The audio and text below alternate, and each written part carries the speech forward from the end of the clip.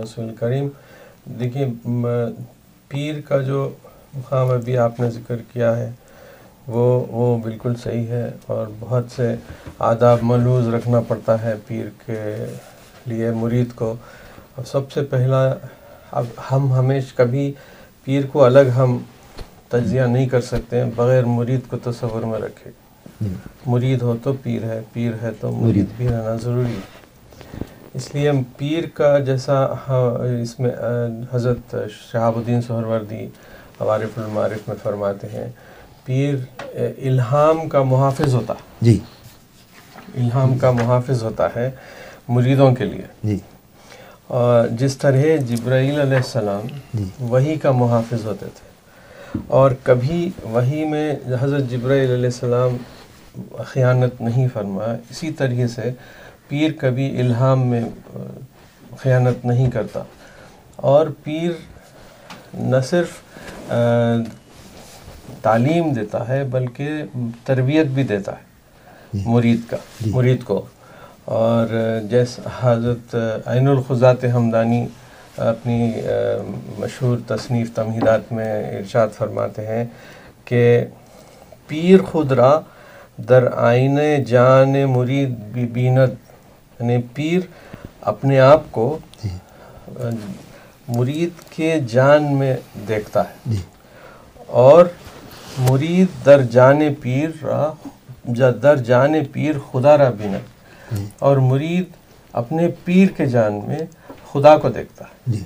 ये एक बुनियादी तस्वुर है पीर और मुरीद के दरमियान और ये रब्त है जो अल्लाह पीर और मुरीद के बीच दरमियान इसको हज़रत गैसुदराज एक और तरीक़े से समझाते हैं कि जैसा एक सूरज है और पानी है। पानी तस्वर कीजिए आपके पीर है। और एक दीवार है जो। मुरीद का तस्वर तो अगर आप सूरज का अक्स दीवार पर देखना चाहते हैं तो दीवार को पानी के पास ला के रखिए तो वो सूरज पानी के ज़रिए दीवार पे तस्वर करता है। तो दीवार जान मुरीद जी। और पीर जा, जा, जा, मुरीद के लिए अल्लाह का का के का तस्वुर उसमें सूरत नज़र आती है। ये मुकाम बहुत अहम होता है और पीर यानी आपके बोलने का मतलब ये है कि पीर कुर्ब इलाही का एक ज़रिया है। कुर्ब इलाही का ही ज़रिया है। कुर्ब इलाही का ज़रिया ही ज़रिया है। यानी बंदगी का बंदगी को साबित करने का एक ज़रिया जी बंदगी तो मुरीद से आएगी बंदगी अल्लाह की बंदगी होती। लेकिन पीर जो है ना हर किस्म की तरबियत देता है मुरीद को। अच्छा। यानी न सिर्फ़ ज़ाहरी तालीम बल्कि बातनी तरबियत। ज़ाहरी तालीम किताबों की होती है। तरबियत जो है तसवुफ़ की जो तरीक़त पे जो मुजाहदात उनके होते हैं उसको तरबियत कहते हैं। जैसा हज़रत हजवेरी ने कशुल महजूब में लिखा है कि एक मुरीद पीर के सामने ऐसा होता है जैसा एक मैयत गस्साल के हाथ में ओहो। गस्साल जैसा चाहे वो दे सकता देता है पलटाता है सीधा करता है। इसी तरह एक मुरीद को होना चाहिए। अच्छा। ये मुकाम पीर का है। ये तो मुकाम के पीर का है। खुसरो साहब, ये आपने ज़ाहरी व बातिनी तरबियत का ज़िक्र किया। हम ये जानना चाहते हैं कि शेख या मुर्शद के ज़ाहरी व बातनी तसरुफ़ात क्या है? क्या आप तसरुफ़ात को तरबियत एक ही बात समझेंगे? देखिए, ये ये जो है, जब जब तरबियत में आता है तसरुफ़ात का तस्वुर क्योंकि पीर जब पीर उसी वक्त बनता है जब वो तरीक़त के सारे मुकाम तय करते हुए आखिरी मुकाम पर पहुँच के बखा हासिल करके जब आता है। जी। तो वो हर मुकाम हर हाल से वाकिफ़ होता है। जब मुरीद को तरबियत दी जाती है तो उस वक्त पीर के तसरुफ़ात सामने आएँगे आपके।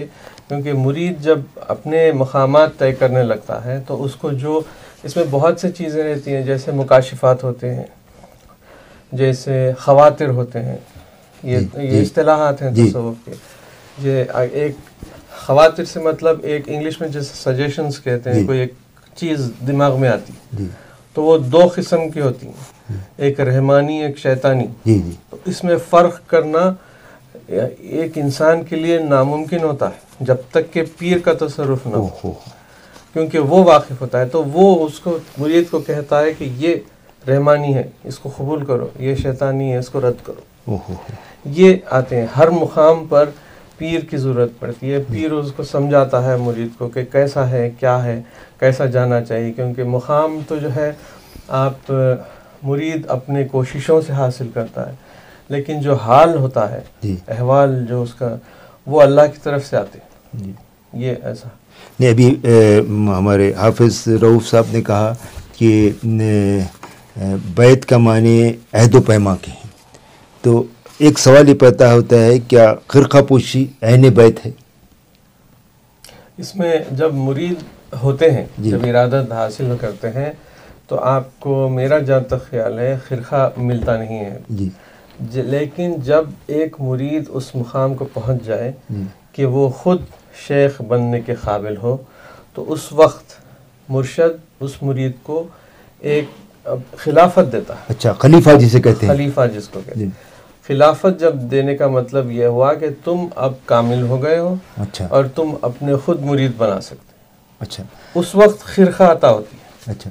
सब Allah, Allah, Allah, Allah.